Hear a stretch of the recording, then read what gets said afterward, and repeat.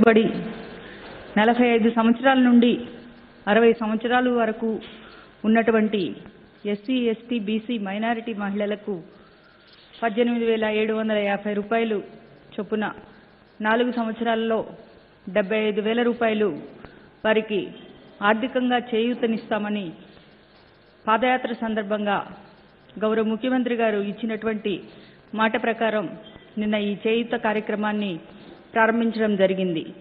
ఈ కార్యక్రమం ద్వారా రాష్ట్రంలో ఇరవై మూడు లక్షల మంది మహిళలు లబ్ధి పొందడం కూడా జరిగింది.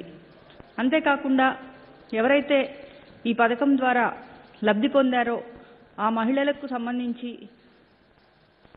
అమూల్ సంస్థ ప్రోక్టర్ అండ్ గ్యాంబుల్ వారి ఐటీసీ వారు కానివ్వండి రిలయన్స్ వారి ద్వారా వారి యొక్క ఉత్పత్తులను తక్కువ ధరకు మహిళలకు అందించి వారు ఆర్థికంగా స్థిరపడడానికి గౌరవ ముఖ్యమంత్రి గారు ఈ చేయూతను అందించడం జరిగింది. మరి ఇటువంటి గొప్ప కార్యక్రమాన్ని కూడా విమర్శిస్తూ మరి మహిళలను మోసం చేశారు అని చెప్పి మాట్లాడుతూ ఉన్నారు. మరి మీరు ఇస్తా ఉన్నటువంటి గతంలో మీరు ఇచ్చినటువంటి ఎన్నికల హామీ ఏదైతే ఉందో మహిళలకు పూర్తిగా డ్వాక్రాలో ఉన్నటువంటి రుణాలను మాఫీ చేస్తామని చెప్పారు. కానీ ఎక్కడా కూడా ఆ హామీని నిలబెట్టుకోకుండా ఎన్నికల ముందు ఏదో పసుపు కుంకుమ అని చెప్పేసి పదివేల రూపాయలు అది కూడా మూడు విడతలుగా ఇచ్చినటువంటి పరిస్థితి కూడా మనం గమనించాల్సినటువంటి అవసరం ఉంది. ఈరోజు గౌరవ ముఖ్యమంత్రి గారు ఏదైతే ఎన్నికల మేనిఫెస్టో ఉందో ఆ మేనిఫెస్టోని ఒక భగవద్గీతలాగా ఒక కురాన్ లాగా ఒక బైబిల్లాగా భావించి ఇచ్చినటువంటి ప్రతి హామీని కూడా నెరవేర్చుకుంటూ వెళ్తున్నటువంటి పరిస్థితి ఈరోజు రాష్ట్రంలో ఉన్నటువంటి మహిళలందరూ కూడా ఎంతో సంతోషాన్ని వ్యక్తం చేస్తూ ఉన్నారు. ఒక సంవత్సర కాలంలోనే గౌరవ ముఖ్యమంత్రి గారు ప్రమాణ స్వీకారం చేసే ముందు చెప్పారు.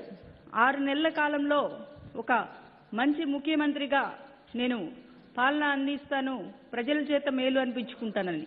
మరి ఈరోజు భారతదేశంలోనే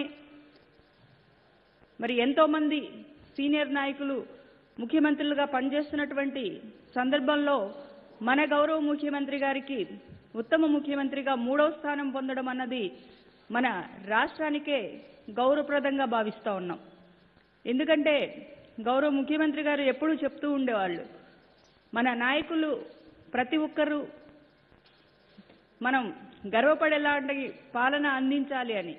మరి ఈరోజు మనం ఎవరమైనా గ్రామాల్లోకి వెళ్ళినప్పుడు ఎక్కడా కూడా మీరు ఆ హామీ ఇచ్చారు మాకు ఇంకా అందలేదు అనేటువంటి పరిస్థితి మేము ఇంతవరకు చూడలేదు.